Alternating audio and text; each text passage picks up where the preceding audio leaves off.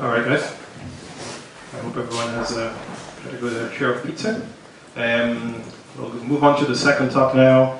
We'll have uh, Paul Savage. I hope that's the right name. Okay. Um, so Paul's going to talk about can the business and uh, the architecture be friends? Let's hope they can. I suppose, first of all, what's this got to do with microservices, first of all, right? So, we'll, we'll just talk a little bit about that, okay? So, uh, people here don't use Node. What, what do you use? Ruby. Java? Ruby? Java. Okay, cool. So, uh, do you use microservices? Are you actually actively using them in production? One, two people nodding heads. Yeah, cool. What do you like? Why do you do it? It's discrete. Hmm? It's discrete. Okay, cool. Discrete. Okay. So there's a couple of reasons that we really like it. Um, some of them not particularly relevant here. Things like more, you, know, you can break code in smaller pieces. They're more maintainable. You get less coupling. All the bits and pieces that Peter covered.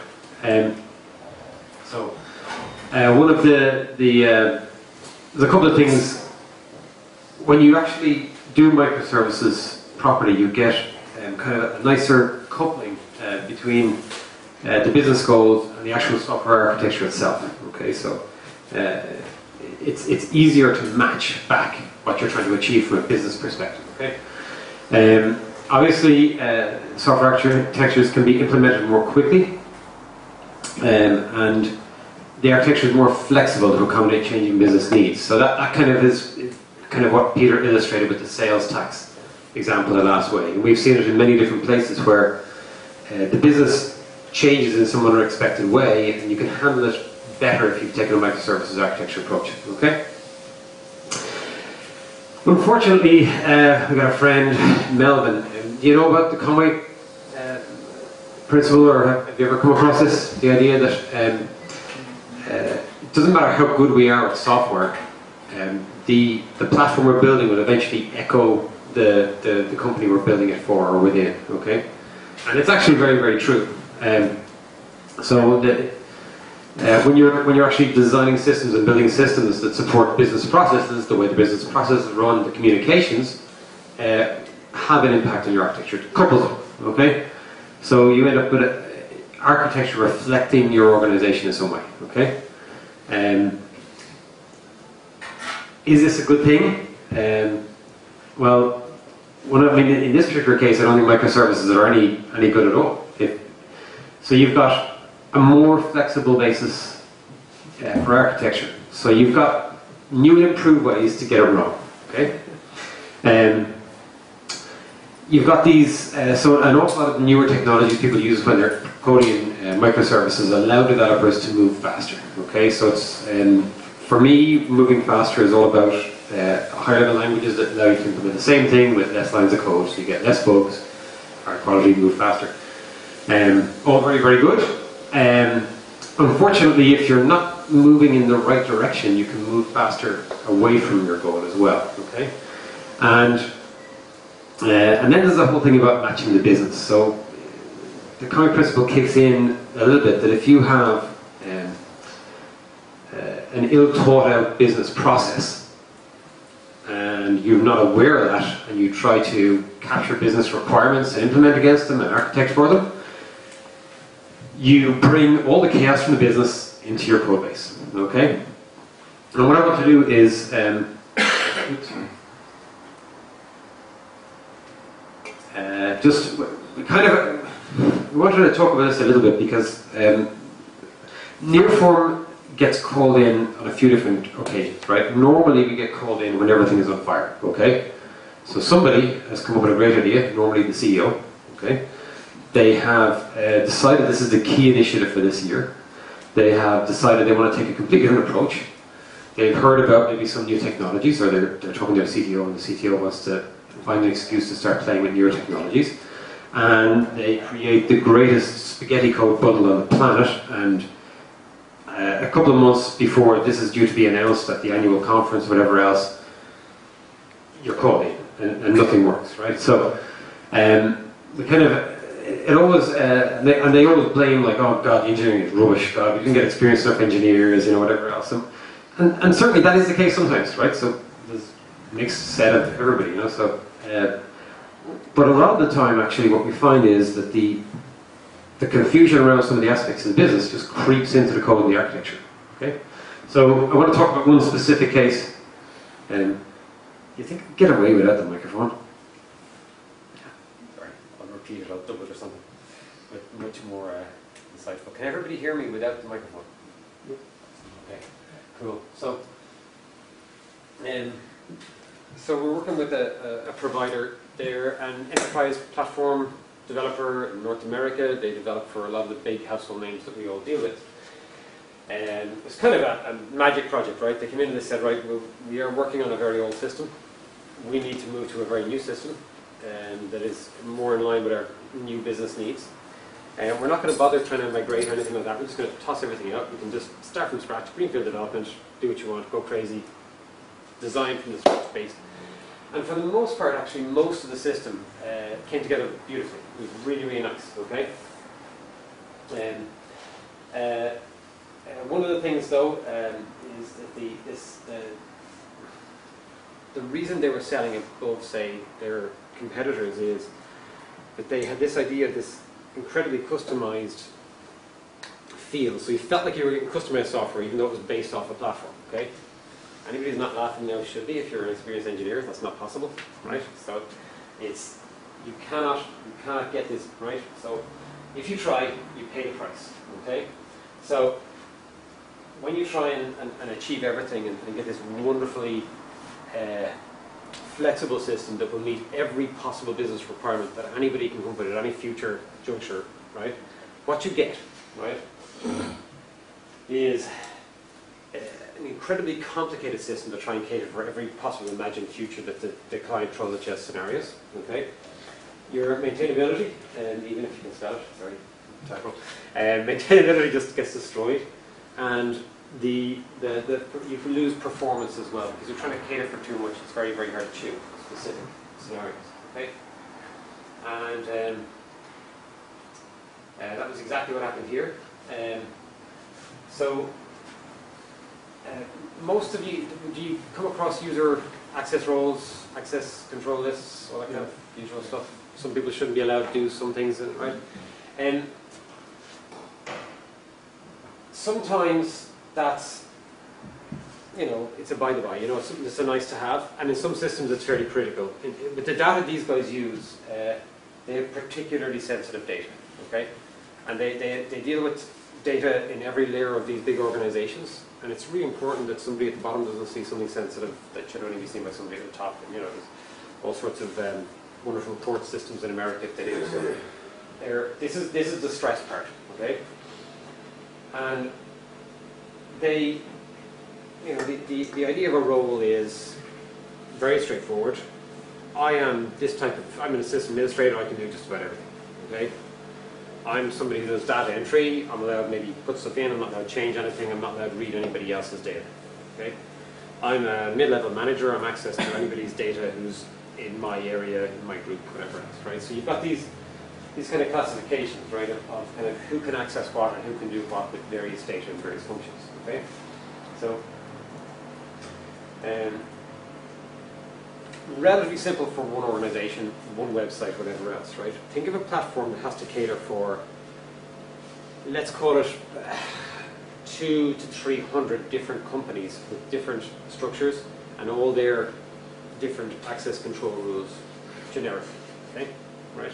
So they're all different. So some people, uh, they use it based on region, some people it's based on their group, some people it's based on their title, and uh, then they, they, they started getting into more more difficult things. So in, in some particular things, uh, you know, uh, one one person might choose to share information with another person the company, put them on a need to know list.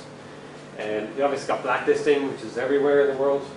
And uh, very often, even people who weren't allowed to read very many cases were allowed to read them if they happened to have been the one that entered them. Okay, so there's all sorts of these kind of things that come together. Um, and uh, we actually looked at it, and you know, the the, the just, yeah. So you got you got all this kind of coming in here, right? But the reality is that any one of these systems isn't particularly hard, right? So you, how many people have actually implemented any kind of access control system? One, two, three, four, five. So, so it's straightforward. There are known approaches. Okay, they're accepted. Was it difficult? Was it? Hmm? Not necessarily. Exactly. Okay. So, um,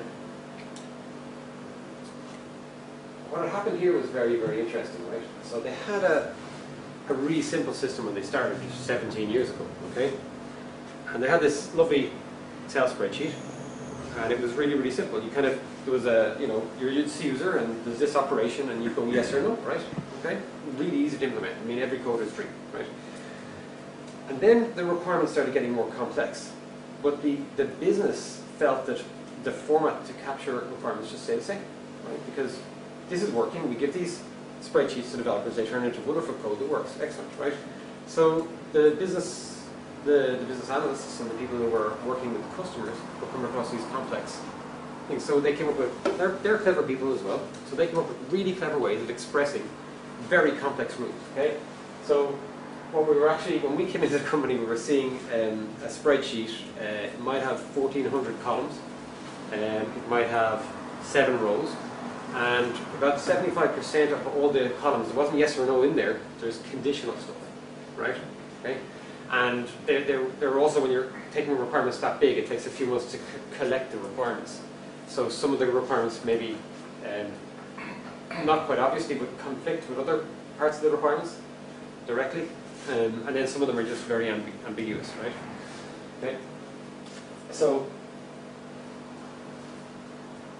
um, so again, you had this wonderful system where BAs were being forced to work inside the system. They had found inventive ways of getting around. it. It's also quite a team of BAs. This is a reasonably big company, right? And every individual BA had developed their own system. So they had different notations, right? So they found that like developers work better with one or more BAs. That's what they were telling us when we came in.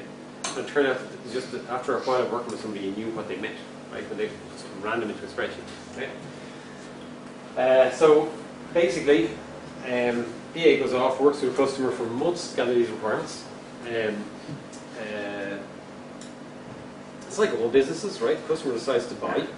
So the development team were tasked to come up with an implementation in about, you know, the usual 12 weeks, whatever it is, right? It's time to finish. So it's no problem, it's it's gonna come together.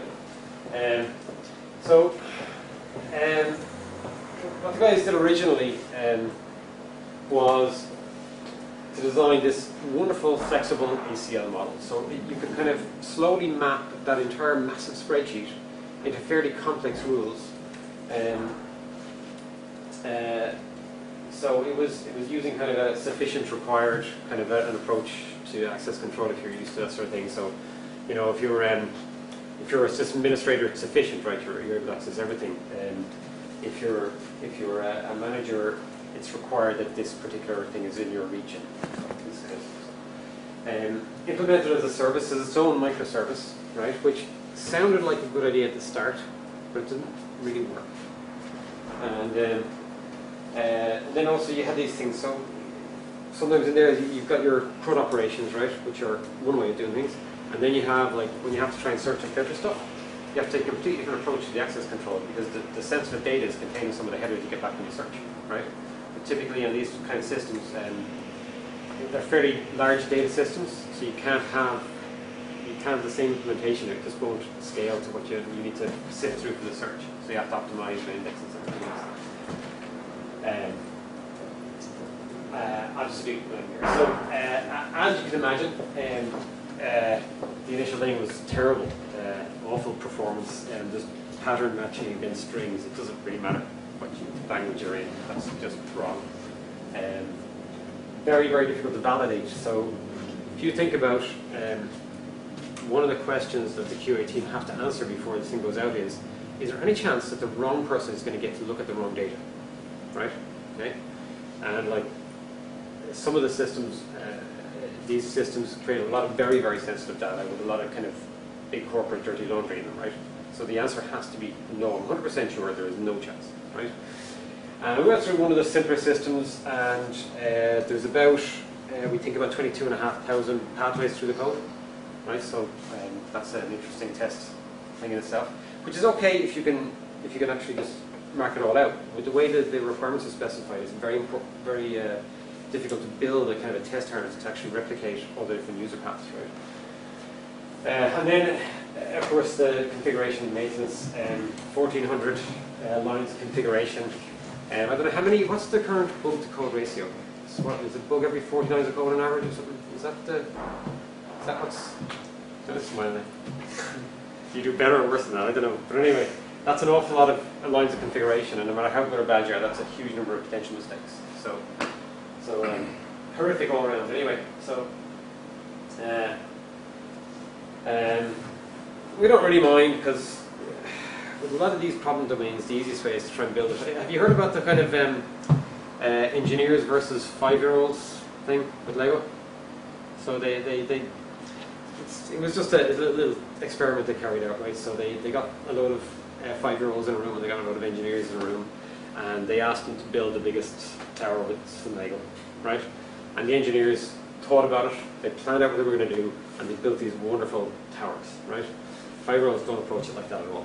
Five-year-olds go bang, bang, bang, bang, bang, fall over. Hmm. Okay, bang, bang, bang. Okay, we'll use a different approach, right? Five-year-olds actually, uh, I think in about, I think it was just over half the cases, the five-year-olds outperformed the engineers because they, they, they use trial and error, right? So they just keep going until they get something that works. Okay? So it's kind of, it's, it's, it's, it's uh, some of the thinking that we do around software, like that using text bytes to validate certain approaches and things like that. So we weren't too worried we got it wrong. We measured the results, we had a look at the assumptions, and um, yeah, it's fairly glaringly obvious, um, you know, what we had to do, right? So uh, one of the key challenges, though, was the, the complications were coming through in the way the requirements were being specified. So uh, even though the problem itself isn't inherently complex, ACL is an understood domain, you can kind of control it, you can implement it well. Uh, in this particular context, it's a monstrously complex uh, situation, right?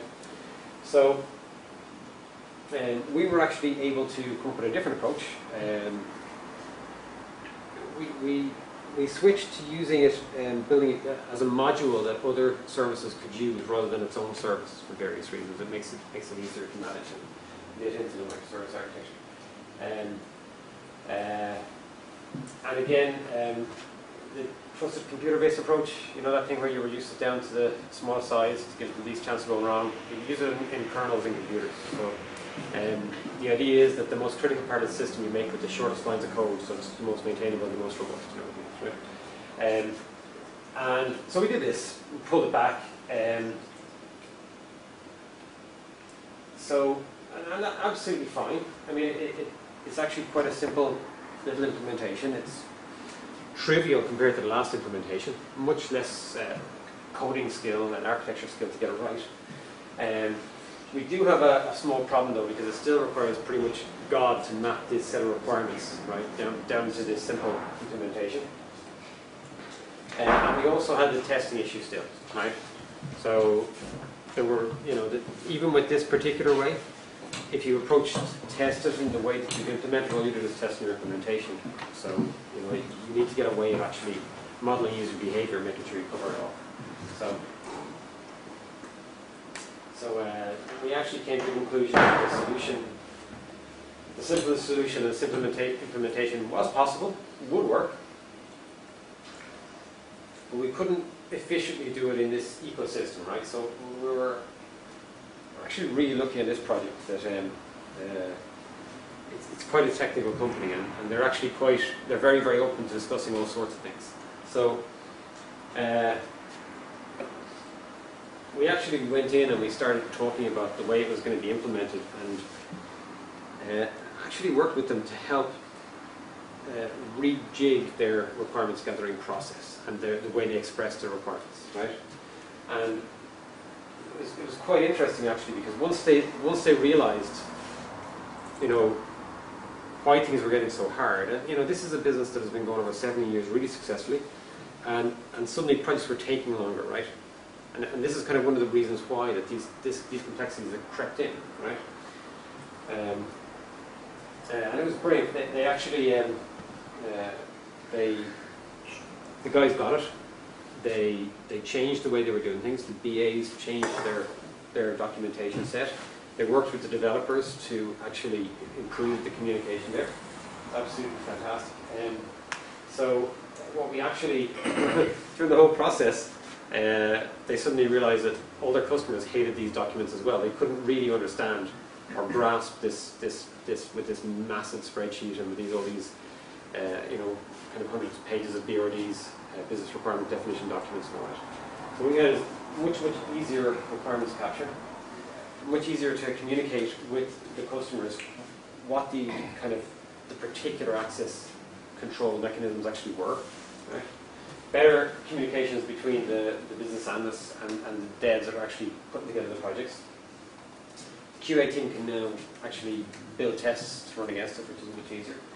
And the um, uh, well, the easy implementation is trivial compared to the, the mad kind of coding that was going previously. Um, so, so far so good.